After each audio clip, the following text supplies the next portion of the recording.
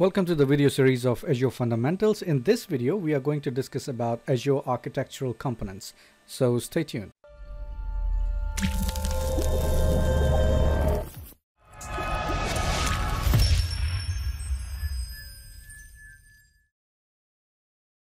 One important benefit of the cloud is how geographically diverse the place in Microsoft Azure is. Now there are currently 58 regions as on April 2020 when we are recording this video where you can get computing services in the following map, we can see that it's basically almost every continent, maybe except Antarctica, but you've got Canada, United States, Brazil, and so on. You have got lots of them in Europe. There are two new regions that has opened up in Africa, South Africa, North and South Africa, West.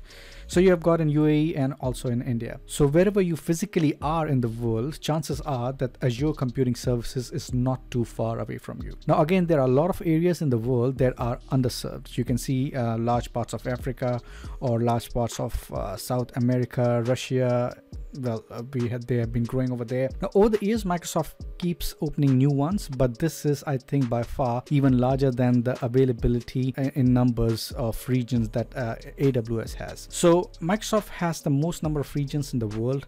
What it represents are places where you can get one of one or more of those azure services. So it's going to be where your users are and you want to put all those services as close uh, to your users as possible. Now the truth is that not all of of these regions are available to everyone. For instance, uh, we can see that uh, you know the US has a lot of government regions, um, and if you see over here, they have also mentioned two of the Azure government secret regions locations are undisclosed. So there are some regions which are not available to everyone.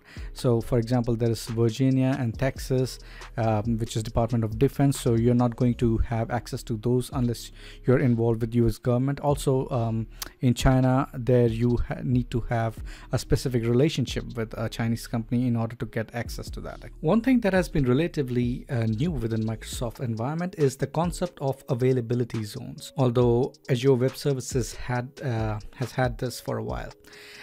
If we choose regions like uh, North Central US as an example, then basically the North Central US is actually consisting of multiple data centers. Uh, there are at least two data centers or more in that region that have got a little bit of geographical distance between them. So presumably if something was to happen, if there was a natural disaster of some sort, then chances are that one region would be good even if the other region is taken offline. So if I just expand this a little, then you will see that there are these diamond shapes over here, right?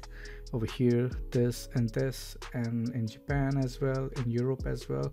So these are the availability zones. Uh, so these availability zones give you as a customer the ability to deploy your resources into those availability zones specifically. So if you're designing a system in East US and you want to have three web servers and you want those web servers to be distributed across different buildings for the maximum amount of availability, you can actually specify web server 1 goes to zone 1 and uh, web server 2 goes to zone 2 and web server 3 goes to zone 3. However, the availability of these zones is not available in all the regions. So these are very specific, but it gives you the the maximum amount of control in terms of where you want your web servers and other servers to get deployed. Now, one of the fundamental concepts uh, within Azure is that the concept of resource groups. So resource groups are basically a way of organizing resources. You know, you can consider them as folder structure. So following is a diagram uh, for an example. At the bottom, you will find that uh, we have resources such as uh, virtual machines, virtual networks, stable storage, SQL database, or some other types of resources. Now, now these things can be organized into resource groups. Similar to the way that the files are stored in folders, resource groups are basically a way of grouping these resources. Now you can even have multiple subscriptions uh, and so your re resource groups themselves can be into specific subscriptions if you wanted to. And you can then also manage those subscriptions through a management group.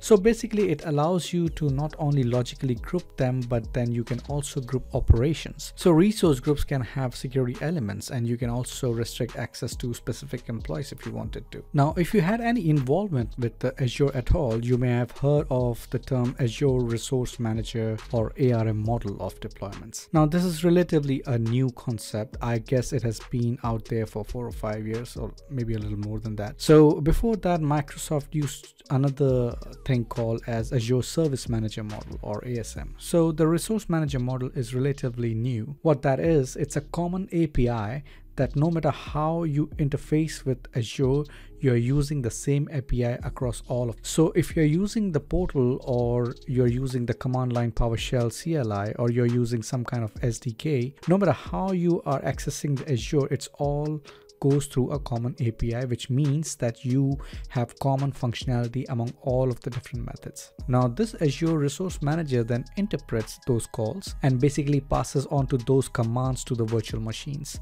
to the networks, to all of the other elements. So basically, it is how you as a developer, operations manager, etc. interface with Azure. Now, there are many different benefits of using Azure Resource Manager model, and those include uh, the ability to deploy things as a group. So you can create multiple servers, multiple networks, and just put them as a package, deploy that all in one, you know, and you can repeatedly deploy these things. And so you have uh, what is called as ARM templates, uh, and that can allow you to deploy the same solutions every single time with no variance. So you can use these things in declarative templates so ARM, that is Azure Resource Manager, basically enables you to interface with Azure in consistent way and provide you a bunch of different benefits.